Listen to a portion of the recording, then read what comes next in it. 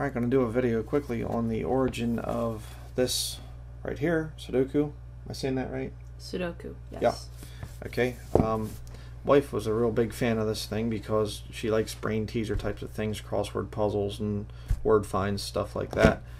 And, uh, you know, whatever, just between doing things, meals and whatever else, and work and things, she just sits down and does one of these occasionally.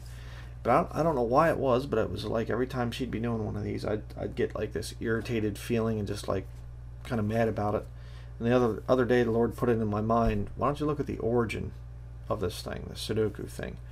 And I thought, yeah, okay, you know, to me it just was like, well, you know, it's not my thing. But uh, kind of shocked to see what the origin of the Sudoku thing is. I'm going to show you this and how Satan is so subtle he can get things into your home without you even realizing it. So here we have the article that I found. Um, says here Sudoku has its deep roots in ancient number puzzles. Then it gets into magic squares. Check this out. Magic square puzzles, which involve the ordering of consecutive numbers into a square, comes to us from the mists of history. The magic square is first documented in China 2,000 years ago. The puzzle is both numerical and positional and positional problem as all the rows, columns, and diagonal lines through the grid must grid must add up to the same number. Okay? I remember learning something about that in one of my math classes in in my uh, junior high or high school years. It was Hmm. something similar to that, where you had to the lines, vertical, horizontal, diagonal, had to uh, add up to a certain number. I forget what the math class was called or the subject was called. No idea. But then check this out. Solutions were considered to have mystical properties and became part of the Chinese I Ching Book of Changes method of telling the future. Um, that's called divination in our King James Bible. Um, so this thing is actually goes back what looks like a seemingly innocent little, oh, it's just innocent, just fun, whatever, little brain teaser. No, it's actually divination. And I know somebody's going to say, well, I don't use it for divination. I don't use it. But you see, the Bible says to abstain from all appearance of evil, right? And very interesting. We'll show you a bunch of more connections here. This is the guy that supposedly uh, came up with this thing. Basically, he didn't really come up with it. He just popularized it. Started bringing in the thing of, uh, you know, these number puzzles, these magic puzzles, and, and making them popular. Interesting connections with this guy. And uh, but uh, his name's Leonard Euler. Here you can see it. And he's also tied to Isaac Newton and Gottfried Leibniz. Leibniz. Leibniz, whatever, how you pronounce his name.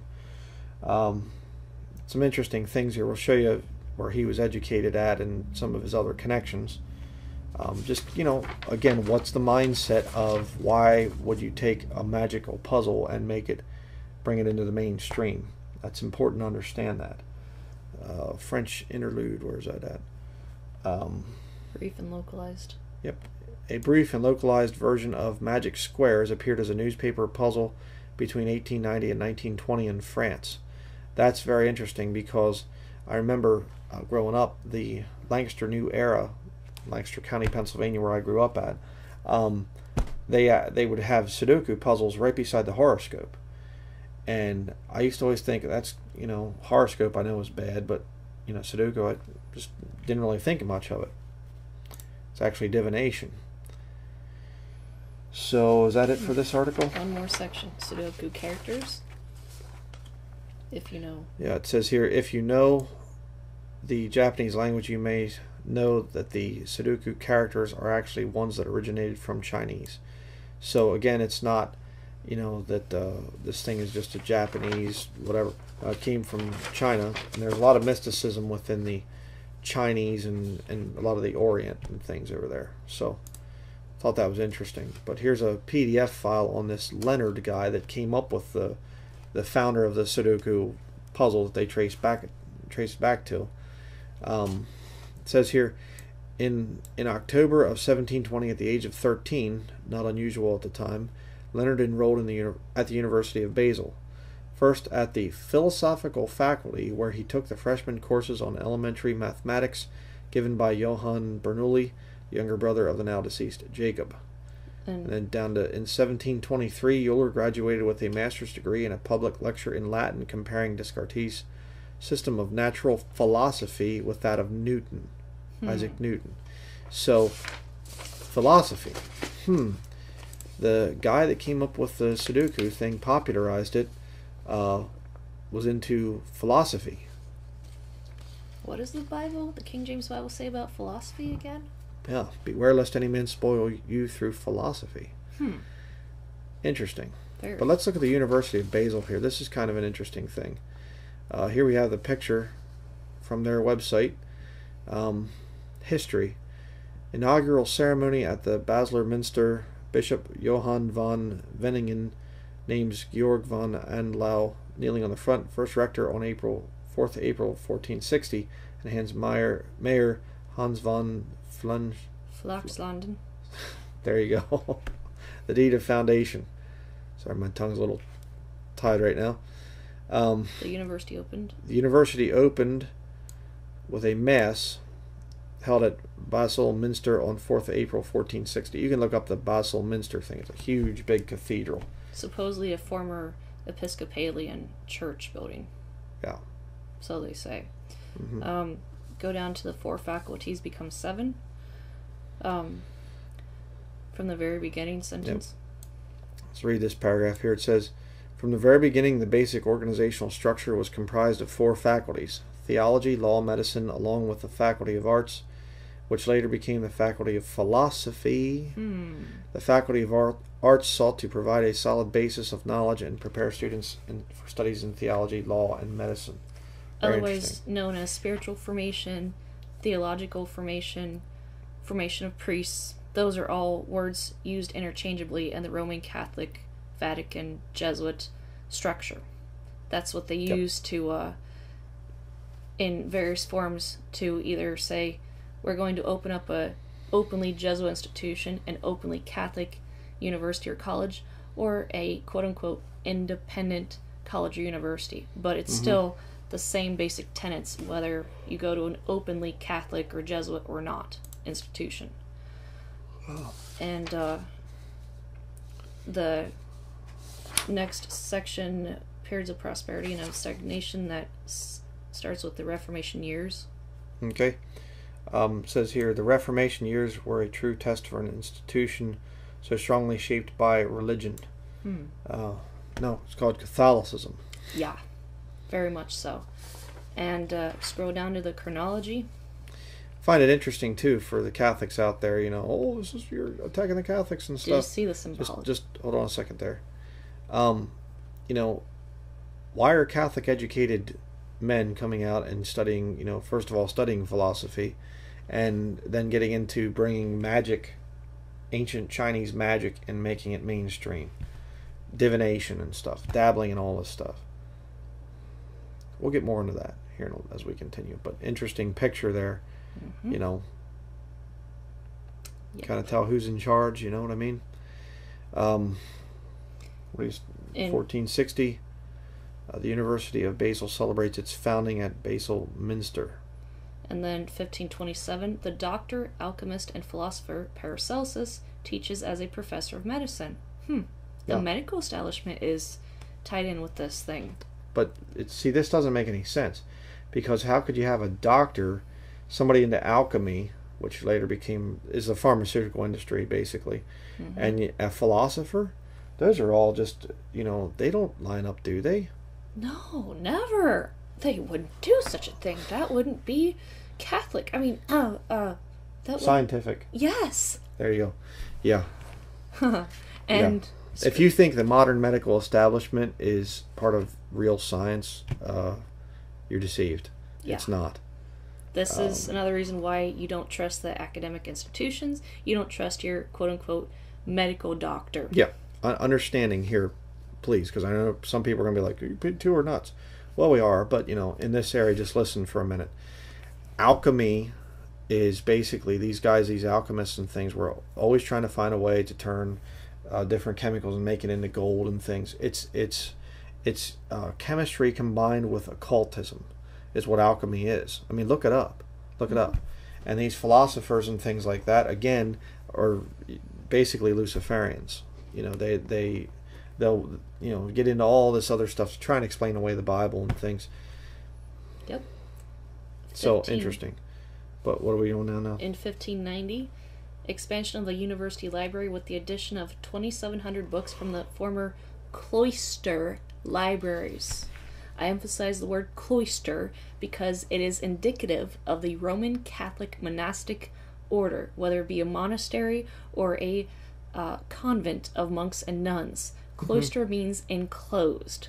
Sometimes it can be an open cloister, other times it is usually closed.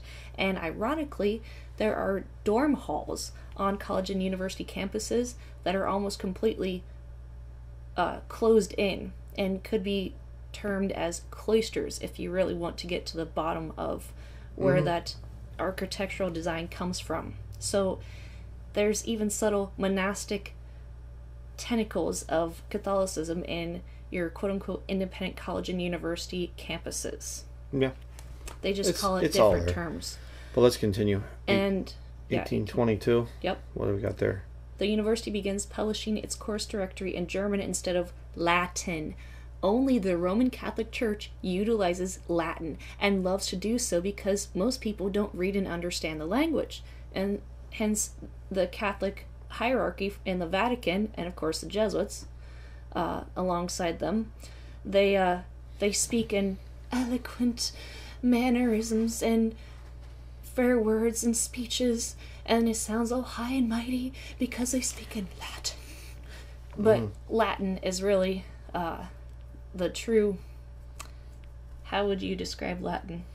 Well, it's just Latin is a is a language. I mean, fine, whatever. But it's just it was used by the Catholic Church for over a thousand years to keep people in subjection, Yes. keep people dumbed down. And you know, there are still Catholics that are very vehement in their desire for the Mass to be said only in Latin, and uh, you know that that's the official holy language of the Catholic Church. So, um, Latin is an African language too, by the way. So.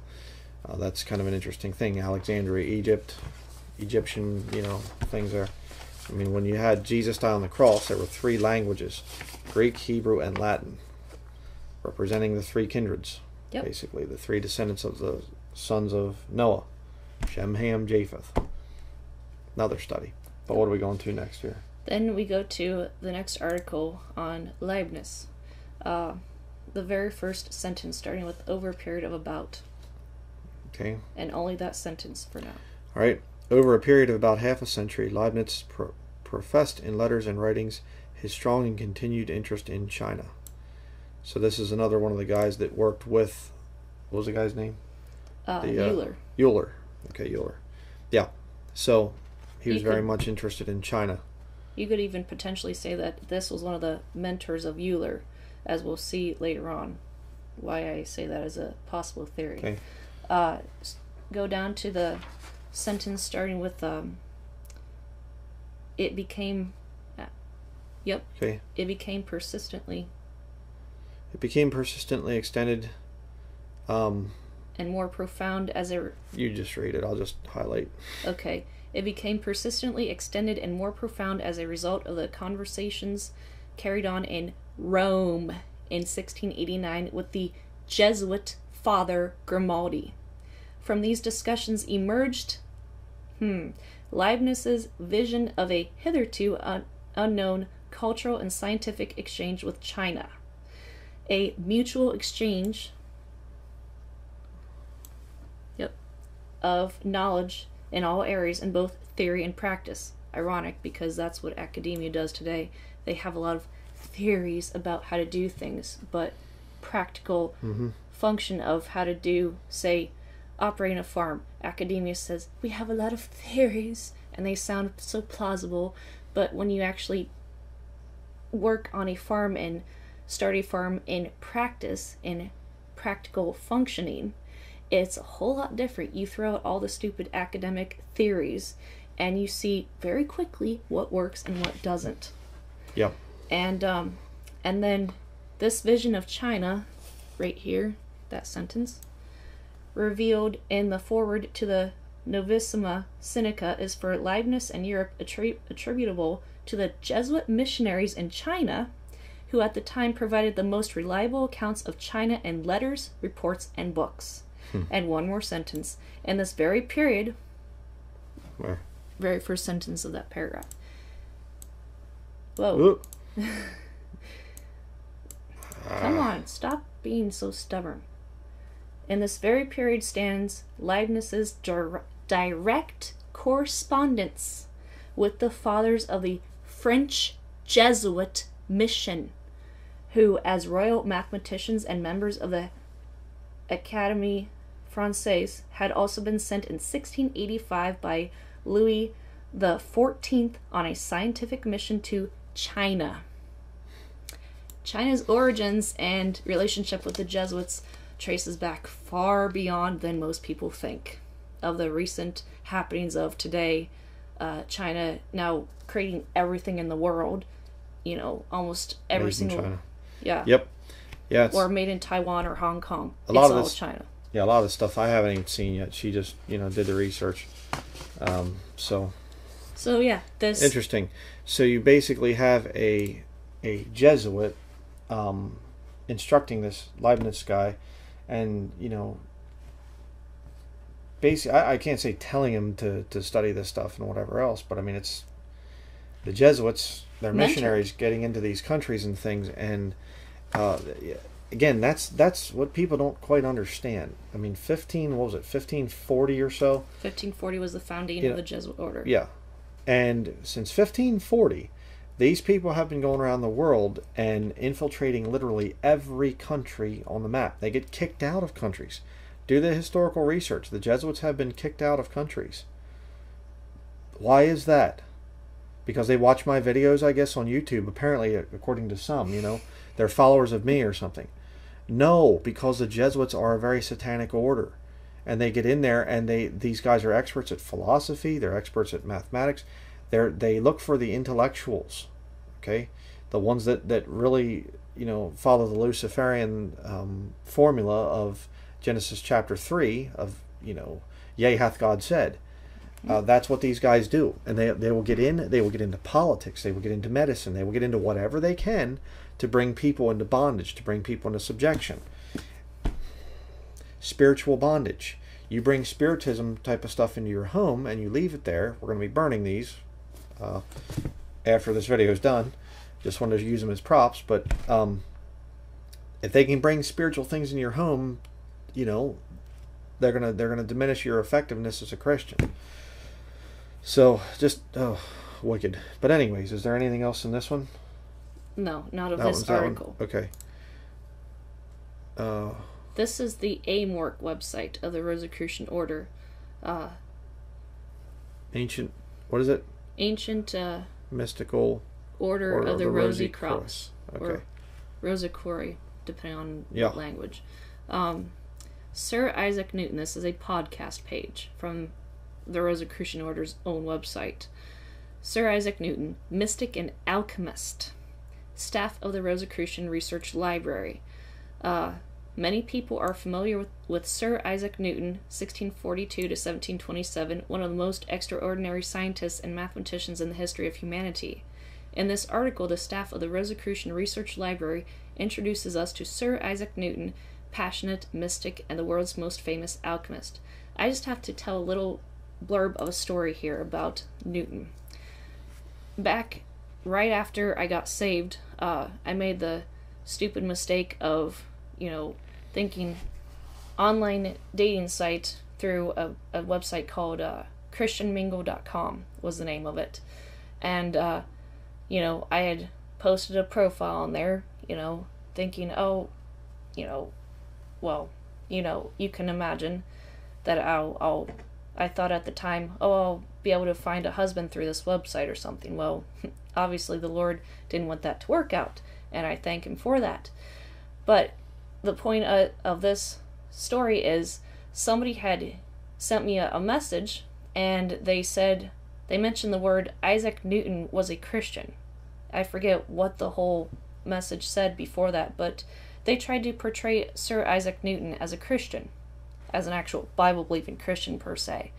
And when I read that, I thought to myself, let me look this up. Was he really a Christian? And I did a little bit of research. I didn't find this at the time. The Lord showed me this recently. Uh, but at the time, I got a funny feeling about Isaac Newton being heralded as a great Christian man and scientist. And uh, so I disregarded the rest of the message because I thought to myself, if this, you know, professing Christian guy on this website is saying that Isaac Newton was a Christian, and thus far my research doesn't tell me that that that's the case, um, and knowing my background, I really felt odd about Newton being called a Christian. I said, well, I'm not even gonna try and, and take heed to anything else this guy is saying. I think it was something to do with uh, me saying I was a Ron Paul uh, captain, neighborhood captain. I forget what the thing was called Mhm. for the for the politics thing, which I was actually. Um, that whole thing started only because uh, a local businessman from my hometown hypnotized me into the political scene. But that's another thing. And so uh, I pretty much thought, well, I'm not gonna. I'm gonna be very, very careful about who I listen to for advice or what they say because if they're calling Newton a quote unquote Christian and he doesn't sound like it, then what else are they gonna try and you know lead me astray on? So, um, right after the Lord saved me, I got a funny feeling about uh, Newton supposedly being a Christian. And, and obviously, he's not, because the Rosicrucian Order's own website states he was a Rosicrucian and alchemist. Yeah, both occult things. Yes. And But the next tab also goes into more detail. And scroll down to crossing the Atlantic section. and you know some of this stuff I don't recommend reading. Okay, I'm not No. going to be putting links to any of this stuff. What is it? but this is very key. The Crossing the throughout Atlantic? history, yes, throughout Okay. history. Throughout. Oops.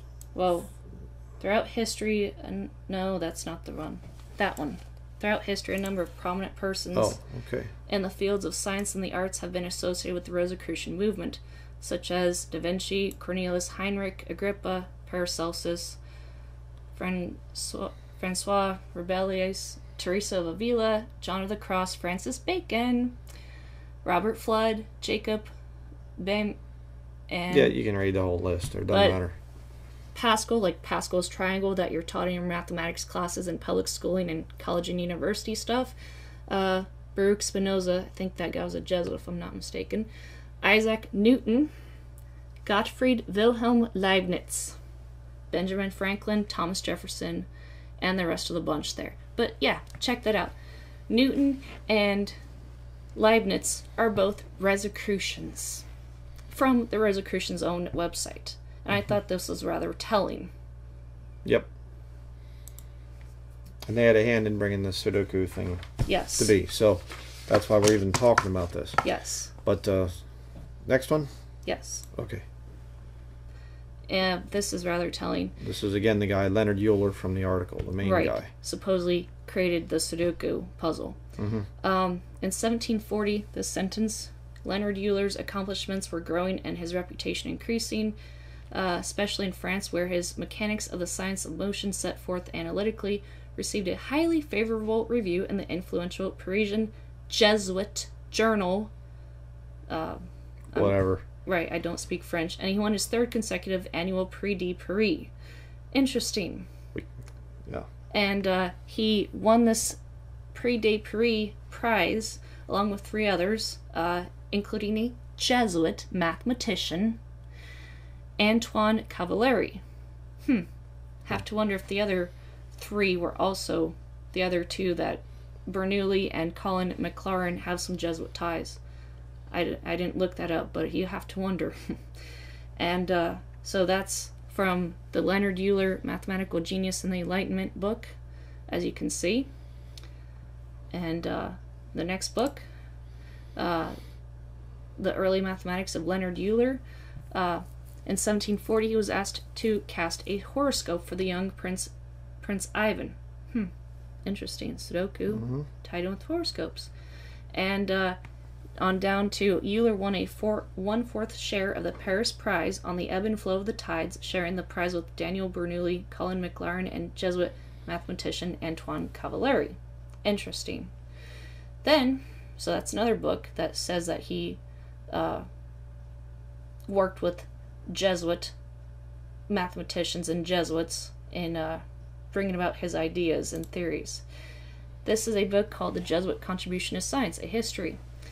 And um, it talks about how Newton and Leibniz had a had a hand in creating differential and integral integral calculus, which was used by Leonard Euler in his work. And uh, Yep, and again, you can see the. I'm not going to read all this, but you can see the Jesuit connections here and here yes, to Leonard Euler. yes. And So- the last one, Puzzles Galore. This is rather telling. This is the back of a book called Puzzles Galore, Volume 1 Sudoku and Sudoku Like Puzzles. Uh, the Portuguese Jesuit missionaries, right here, brought the game to India, where it was enjoyed in the harem of the great Mogul. So, again, the Jesuit missionaries traveled around the world bringing this divination based occultic game under the guise of Sudoku in its modern day term. The Jesuit missionaries love to spread this game around because it sounds so innocent, and I started playing brain teasers like Sudoku as a lost woman many years ago as a way to just kind of, if I was stuck on a, a problem, a math problem or something, I would play a brain teaser for a few minutes and then go back to my my work and figure out oh okay that's where I went wrong. Things like that and uh, never knowing up until the lord recently showed us a few days ago never knowing just how occultic this game is. And it sounds so innocent. And trust me i've gone through all the little reasonings of oh but it's fun. Um, i'm not keeping that satanic book in in this house. I'm burning it and I Yep. and I hope you will do the same thing if you have this innocently in your home. It's a doorway for the devil to use and to get in your home and cause spiritual bondage and divisions and problems in your in your marriage and in your relationships. And it can be a hindrance to your prayer requests if you are willfully keeping this book on hand after hearing this video. Mm-hmm. Let me just explain something here because I know some people are probably going to be like, "Oh, brother, this is just this is you're blowing things out of proportion, the whole deal." Um, one of the things that the uh, Jesuits swear to, they swear total obedience to the Pope, to their to their black Pope, actually, the the superior. Although right now the Pope's a Jesuit as well, so it works out. But um, and one of the things that they say that they will do is that they will poison um, enemies of the church. Well, poison, when you think of poison, you think of a chemical. Alchemy, you know. But uh, no tie ins there. No, never. But here's the thing, and here's what people need to understand the Jesuits can also poison through other means, and that is spiritual poison. And it doesn't take much.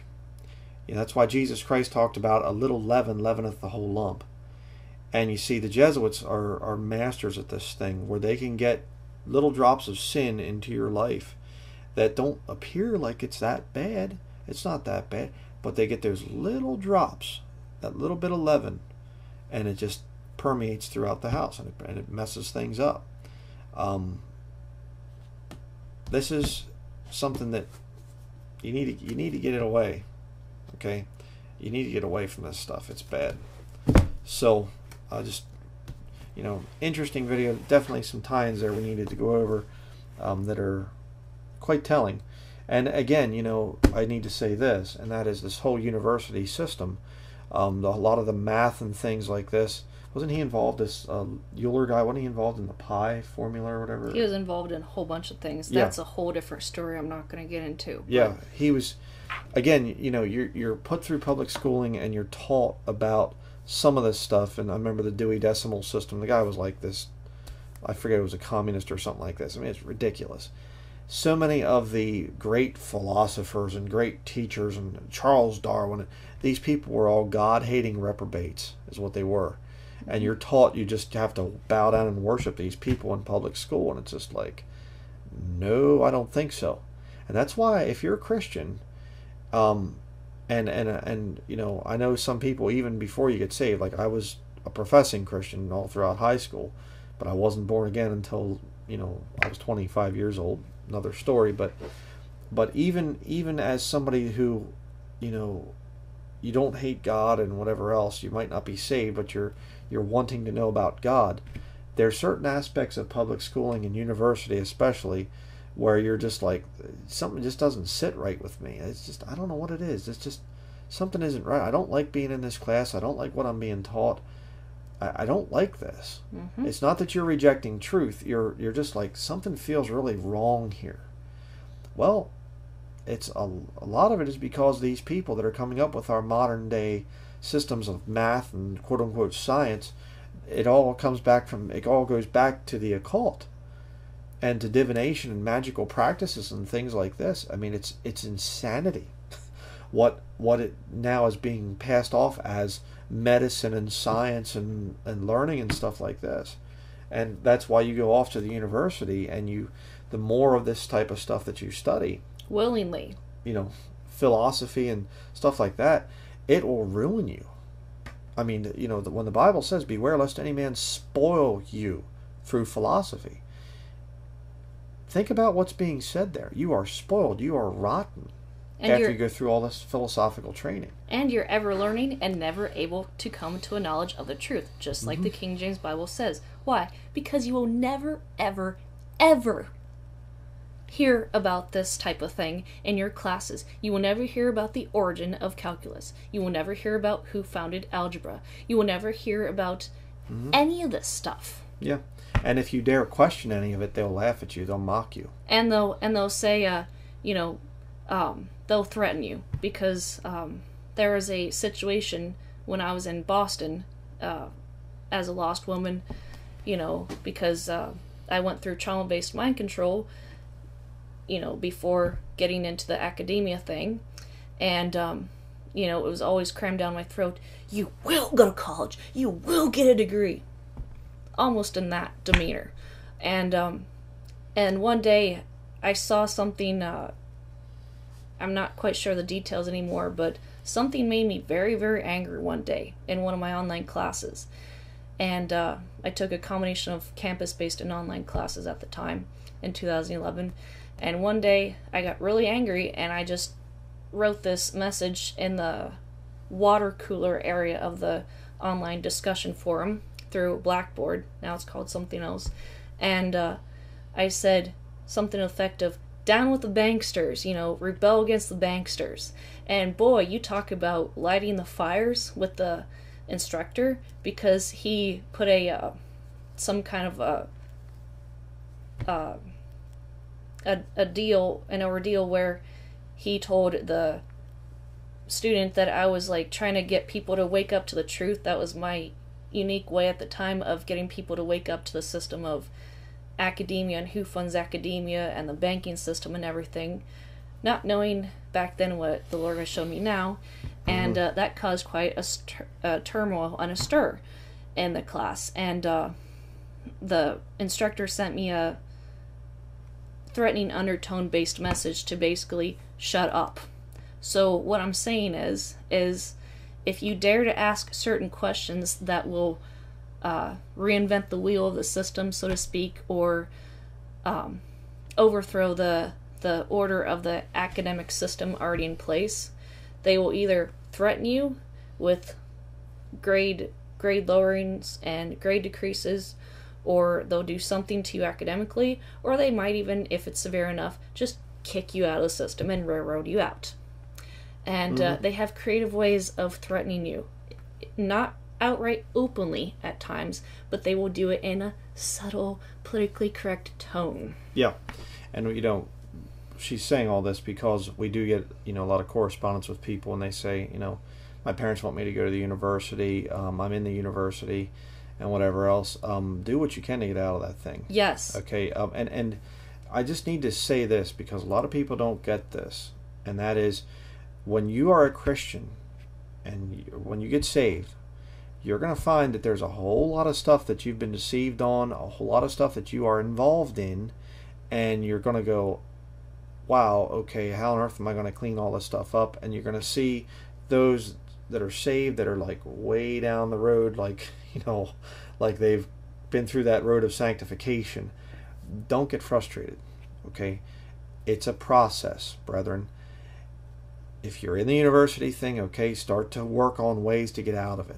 Yes. All right. If you can walk away from it, do that. If you can't, well, then try to pray about it. Ask the Lord for direction. Ask the Lord for leading. All right. This is something that you can do quickly. All right. This thing is from ancient Chinese divination magic number puzzles. All right. The Lord's not going to bless you if you keep this kind of junk around. All right. Get rid of it. Burn it. Right. Don't put it on eBay and try to get some money for it or whatever else. No. Get rid of it. right? Burn it by fire. That's the method that was done in the book of Acts. right? They brought arts and, and divination types of things together and they burned them. So that's what you got to do. And, you know, when you watch our videos, please don't think that we're saying that you're just like, you know, we get this all the time. People say, oh, you think you're, everybody else is lost. No, we don't think that, okay? What we're saying is there are things that if it's wrong, then you clean that thing up in your life. All right? Get away from this stuff. And the Lord will lead you along. He's leading us along. I mean, literally, this is just a couple days ago. You know, this whole time we've been in ministry, you know, we've she plays us just occasionally and things the whole time, and we had no idea. I mean, we just totally ignorant of this thing that this is ancient Chinese divination stuff, and, and some, we're going like, oh brother. And sometimes I would even play a do a Sudoku puzzle before going to bed at night because it was my way of unwiring my brain. My I have a very very active brain, and uh, sometimes I don't. Uh huh. Okay, thought predator. you always steal my thoughts. Uh-huh. You know, he acts all innocent. You know, I am. I am innocent. Uh huh. Everything that's wrong with us, it's her fault. Uh huh. So. Yeah. But no, but seriously, yeah, she would she would use this type of thing to like when she's going to bed and stuff, and, and I'd be, it just I always had a weird feeling about this, and I didn't understand why. So and again, learn to to you know rely on the the discernment that comes from the Holy Spirit. If you start feeling kind of weird about something, do a little bit of research and see where did this whatever it is come from. So we've we've uh, ranted enough here. Um, just want to do this video just to as a little bit of a heads up to anybody out there if you're messing around with this Sudoku stuff, get rid of it. Okay, um, it's Chinese divination essentially. I was ignorant until so, the Lord showed me. I yep. had no idea. Yeah. And if you're ignorant about it too, you know, please get rid of it by fire. And if you watch this in its entirety and you still want to comment and say things like, uh, I don't believe you, that's that's a lie, that's stupid, I'm not gonna believe this. If you're willfully holding on to this thing after seeing this entire video, uh, thine own wickedness shall correctly. Mm-hmm. Yep. So that is going to be it. Thank you very much for watching.